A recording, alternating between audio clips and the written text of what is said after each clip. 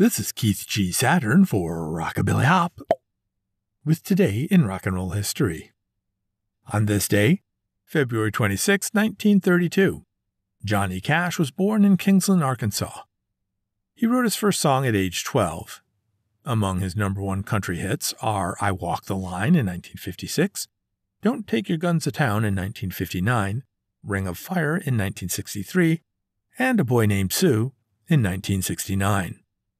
He was elected to the Country Music Hall of Fame in 1980. For more rock and roll history, like, share, follow, comment, and subscribe.